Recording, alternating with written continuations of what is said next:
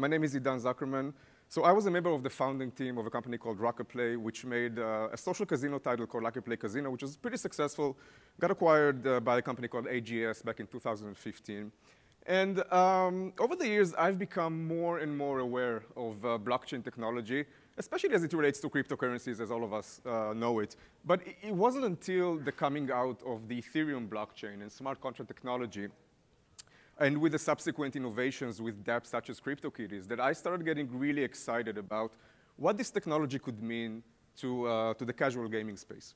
And fast forward to about a year ago, and with the coming out of the EOS blockchain, uh, my co-founders and I set on a mission to try and bring the benefits of blockchain technology to casual game audiences via, via gaming. And starting with Upland, which uh, we hope uh, is going to be one of the one of the first games of its type to reach mass adoption. So um, Upland is a location-based virtual property trading game. People often describe it as Monopoly meets Pokemon Go. Um, and one of the questions we get asked most often is, why do you need blockchain? Why not just build this game with a standard backend like every other game? And the answer comes down to one simple sentence. But before I get to that sentence, uh, I want to walk you through some of the things that we're able to do today that were not possible before the emergence of blockchain technology. And for the sake of demonstration, let's imagine uh, a game where your objective is to grow a herd of adorable llamas. Maybe let's call it Lamaville. Uh, and as a llama herder in Lamaville, your single most prized digital possession is a llama. And other digital items may be your, you know, the virtual currency that runs the economy, llama coins, and the facilities with which you grow and cultivate your herd, the ranch, whatever. It's, you get the drift. So back to some of the things that um, blockchain technology allows us to do. So the first and most important thing is blockchain allows us to give an instance to digital assets in the real world. And what does that mean? It means that I can now turn this, a virtual representation of a cute llama, and metaphorically speaking, turn it into this, a physical representation of a llama in the real world. And what is the difference between the two? So let me demonstrate. So imagine that I'm the operator of Lamaville. Now, I'm going to award you this cute llama. It's yours. Which means I just handed it over. And I'm going to give you the virtual type of the llama, which means I will logically associate it on my servers with the user account that I've created for you. Now, I'm going to ask you both to dispose of the llama. Why? Who cares why? It's your stupid llama, right? so you can think of a lot of ways to do that. You can you know, throw it in the garbage. You can donate it at Goodwill. You can light it up on fire. You, on the other hand, can't. And uh, to give another example, if I asked you to sell your llama to somebody in the audience, you'll probably find somebody, negotiate a price, and then you would make the exchange. You'll get your five bucks. The other guy gets the llama. Now it's his. You, on the other hand, are stuck with your virtual llama. So this is a small demonstration of what true ownership means. And kind of like maybe to sum it up with a catchy phrase that I like to quote, if you can't sell it, you don't really own it. So back to our Lamaville example, blockchain will allow us to give an instance in the real world for all digital assets in the game, the llamas, the herd, the virtual coins, etc. And now that we have kind of like gave an instance to these digital assets in the real world, Another thing that uh, blockchain allows us is to create a ledger of record for all transactions that are associated with those digital assets, which is both public and secure at the same time. Now, on the micro level, this has some obvious benefits for players. But on the more macro level, this uh, creates a concept which is crucial for the bigger picture. And that concept is the concept of trust. So let's take an example, uh, virtual coins. So anyone who had the pleasure of running a casual game or any other game can probably relate to that. So when I used to run social casino, one of the most common complaints coming in from players was some kind of variation of, you took my coins. Where are my coins? My balance should be this and that. So blockchain, when implemented correctly to support an economy, can give the confidence to the players that nobody can touch their digital assets without their explicit permissions. So there is the potential here to make these uh, types of notions completely obsolete in our games. And going again back to the Lamaville example, our llama herders can be confident that their llamas, their currency, their digital assets are fully secure. All of the transactions that have to do with those assets are public on a blockchain and are going to be there. They're going to be immortally no, uh, notarized on the, on the ledger of record forever. And then the third very interesting thing that blockchain allows us is the frictionless and trustless exchange of value between peers. What does that mean? It means that any number of peers can either exchange or combine value together in a single transaction without having to expose their identity, without having to know the other peer's identity, and without having to expose any kind of payment methods. Now, imagine what kind of uh, innovation in gameplay this can create. Imagine game mechanics where people combine their value together to achieve a common goal. Imagine new business models where people set up virtual shops in the game or outside of the game to trade the digital goods. This could be very exciting. And then back to our Lamaville example. Our llama herders, think about it, can maybe combine two herds to create uh, an offspring together and then sell that offspring to a third peer and then kind of like split the proceeds between themselves, all of that at touches of buttons. So very exciting stuff. And then back to the question of why did we want to implement blockchain when we developed Upland? And the answer was to create a credible, real-life game economy to support the game.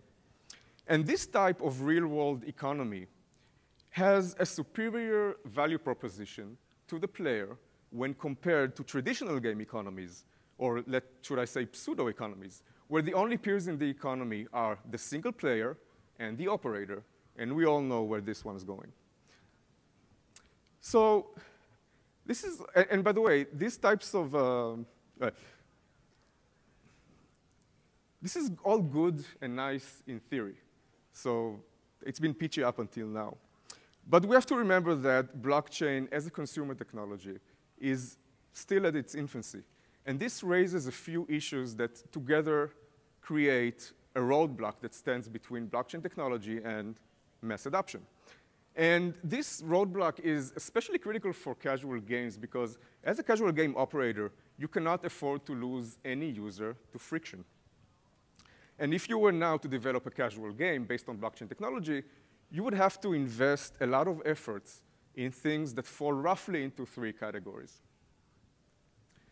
So the first barrier is a user experience barrier. And this is probably the major one. And, and the, the first thing that comes to mind with blockchain when we're talking about UX barriers is identity on the blockchain.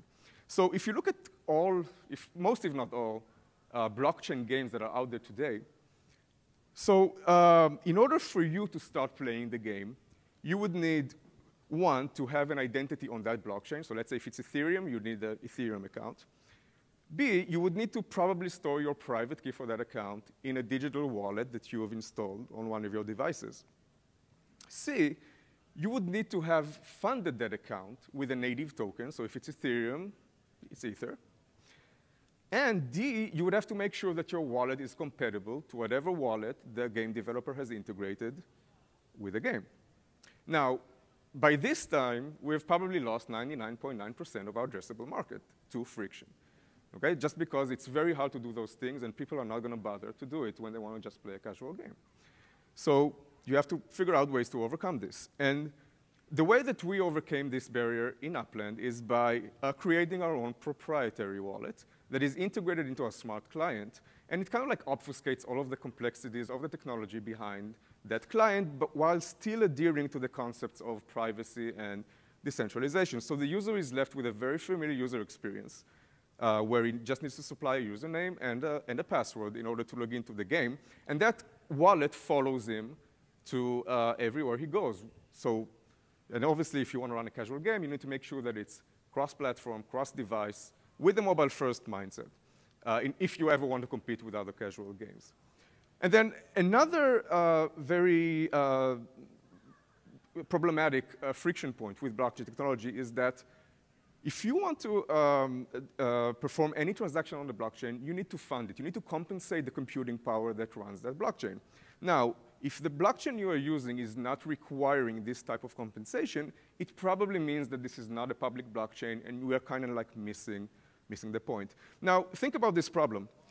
take a look at a very common casual game scenario. You go into the game and you want to collect your daily bonus award. So imagine if I had to collect now my 1,000 llama coins or my 1,000 upland coins, and I had to pay one cent, even one cent, just to fuel that transaction. That is a friction point that's a no-go. You will lose to any competitive casual games. Uh, so you have to overcome this barrier as well.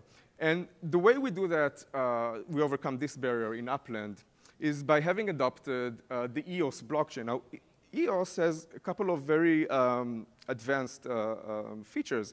One of them is being able to delegate resources from one account to another. So we as Upland can create uh, uh, kind of like an operational account on the blockchain and then delegate resources to all of our users.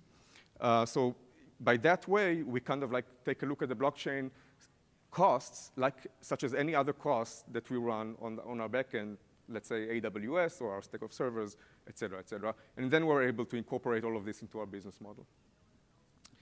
So another thing uh, you need to overcome is, again, for, to create a successful casual game, you need to allow um, the, the, um, the, flow of fiat money. Now, fiat is government issue currency like US dollars or euros as opposed to uh, blockchain tokens. So you, you have to be able uh, to offer users to, to cash into the game using fiat, and more importantly, cash out of the game, again, because we're dealing with real-world economies. Now, this presents a, a, little bit of a technical difficulty when speaking about blockchains, just because the way blockchain works, the exchange of value is performed via a native token. So if we're talking about Ethereum, it's via Ether. If we're talking about EOS, it's via the EOS token. Um, eh, so to overcome that small technical problem, you have to probably create your own gateway that will allow fiat to flow into the blockchain and then uh, be taken out. But the more difficult uh, barrier here is a regulatory one.